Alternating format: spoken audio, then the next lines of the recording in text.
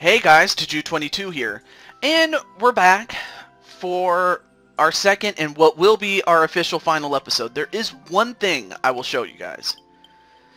There's this thing called Super Worlds. Oh yeah, and this entire Let's Play has been brought to you predominantly by the Gaming Odyssey.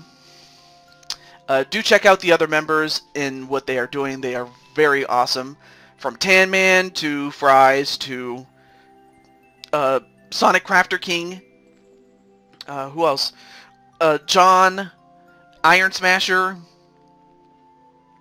uh, Edgar. Uh, those are just some of the names I can think of off the top of my head. I mean, we also had former members like Mario Rock, Jacoy, and Mr. Toad the Gamer. But, of course, you also have your boy.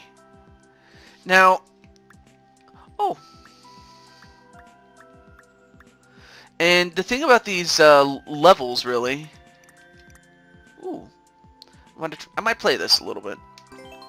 But anyway, what these worlds are, they added something new, which was you can create your own world, which is kind of like essentially building your own game with your levels that you go with it. I've seen some that are so innovative to the point where, um, again, I forgot the guy's name, uh, I'll be sure to link him in the description, uh, as well as the, that one video that he shared with me. Well, he didn't share with me personally, it's just that he, um, he uh, displayed a guy who already made it, is what I was trying to get at. And, let's see. But basically, you create your own, essentially your own game, really. And of course, you have, there's the codes up there if you want the individual levels if you wanted. But I'll share this with you. So, it looks like this was borrowing inspiration from that of Kirby, which I thought that was pretty cool. So this one's less of a challenge and more of exploration in that if you explore, you'll get more out of this than you probably would. Like, you can go down, probably take the easy path, or you can go up and take a more challenging path. But then again, that's kind of the uh, the makeup of many Kirby games. Although how you get up there is... Actually, I think...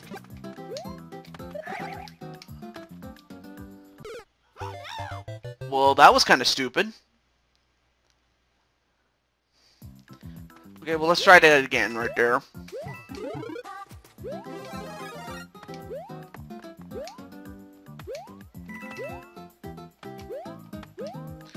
Although I do like the post that some are, are you know, that some of that some people do, and that's like, wow.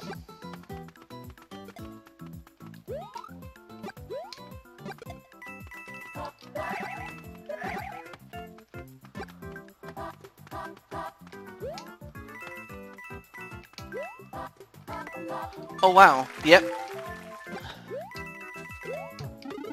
Okay, well there's the, uh, the flag, so I don't have to go all the way back.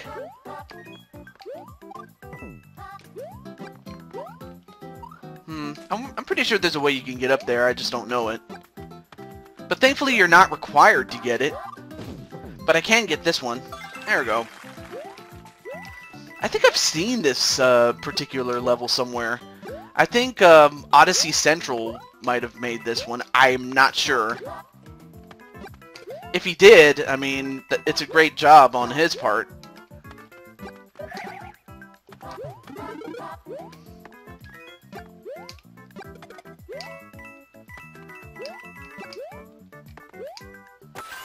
But that one was pretty good. So, yeah, like I said, in addition to the levels, I mean, you can essentially create your own version of uh, Super Mario World. And what I also like about it is that you're not confined to just one game style, meaning you're not just, you don't have to do just uh, New Super Mario Brothers style. You can also do, um, oh, what is this? Match and win. Oh, I see. It's just like um, Super Mario Brothers 3. Oh, well that was a mess up. Yeah, that was bad. That was worthless.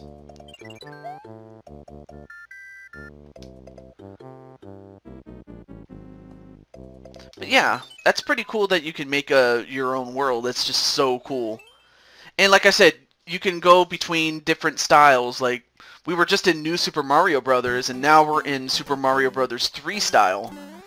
And I just like playing as Toad, but you can also play as uh, Toadette, Luigi, and of course Mario. I mean, there's, I mean, come on. I mean, he is a man after all. Also kind of cool that you can make all sorts of things here.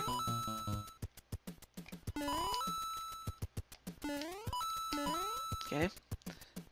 Thankfully I could go up this way. And of course, the mechanics of each game, especially when you're you're playing uh, Super Mario Brothers 1, is a lot different than that of every subsequent um, iteration as that you can do more things in Super Mario Bros. 3 that you couldn't do in the original, among other things. Ooh, gotta be careful here. But one of the things I did see, and I may as well point that out, is someone made a 2D rendition of Super Mario 64. And I was like, wow, and of course, if you had, of course, you can never understand it until you actually had, unless you had the game, which I did. I remember back in, um, I remember I first got it in 1997. Um, okay, I'm not even gonna bother with that, um, that coin.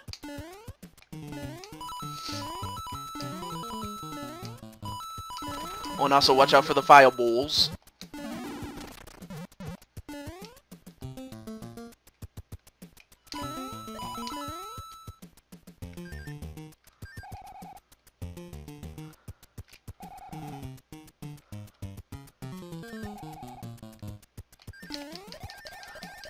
Course, if you build up enough uh, speed, then you can fly, which I kind of find is pretty cool.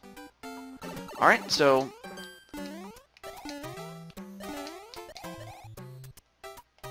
Trolls live under the bridge. Oh yeah, and you can also kill the piranha plants with your tail, in case you didn't know. Alright.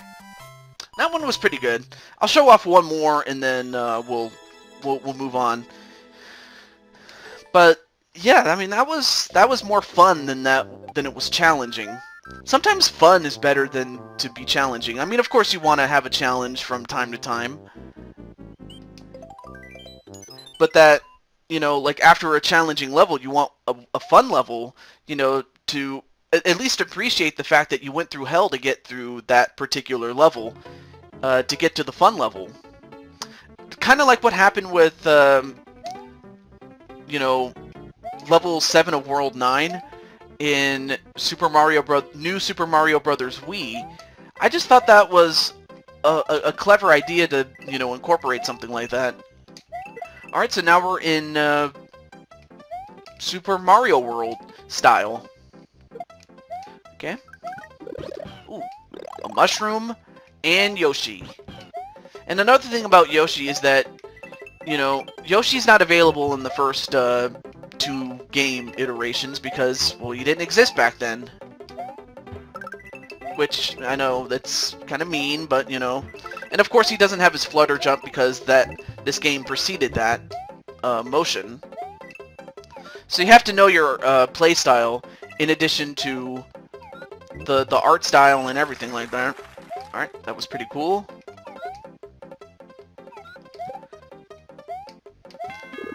Oh! There's actually something up here.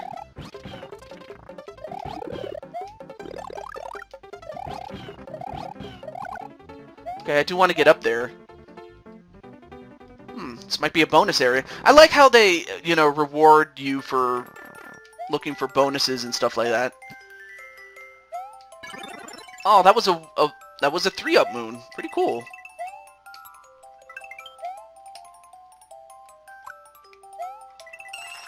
Oh, and all that was just for some coins.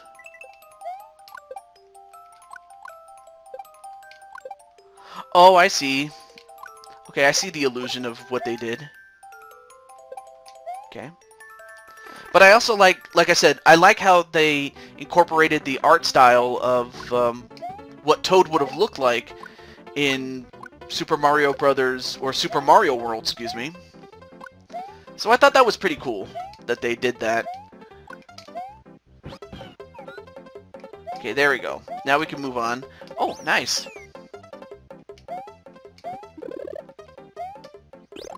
Let's see. Is there anything? Nope, there's nothing up there. Okay.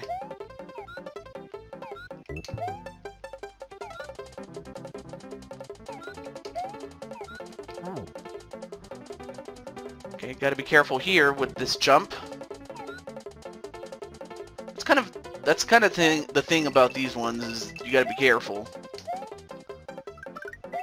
Okay, well there's another Yoshi in case you need him.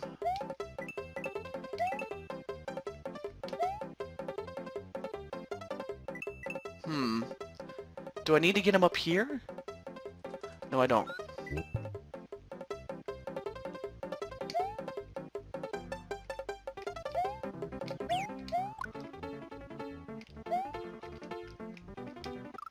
And, well, that was... Well, thankfully I don't need to complete the level, but I just wanted to show you that. Oh, no, wait. Never mind.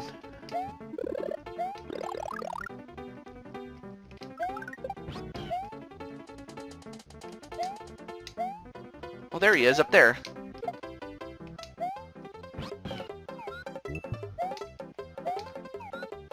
Okay, let's try that one more time.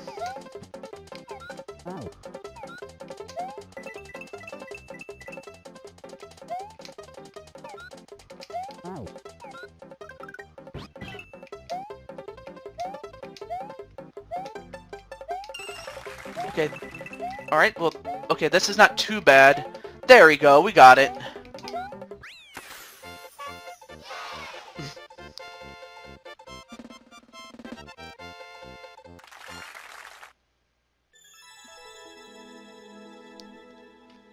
Incredible. Okay, well, I guess I didn't have to quit, thankfully.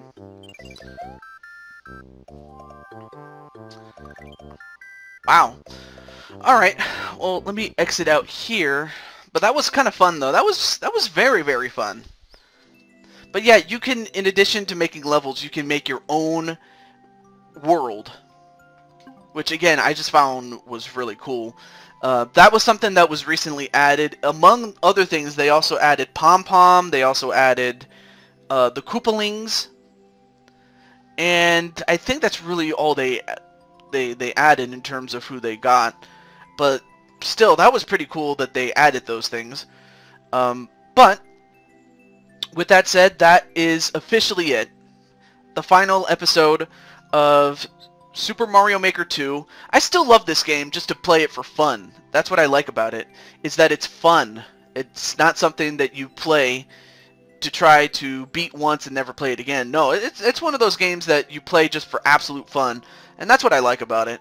And plus, it's always fun to play with um, my my my my my two my two nephews. I mean, they're really my only nephews, but they've enjoyed this game, and I hope you enjoyed it as well. This is TehJew22 signing off officially, and I'll see you next time for whatever my next Let's Play will be. I'll talk to John and the others, and we'll see what happens. But until then, have a great one, everybody.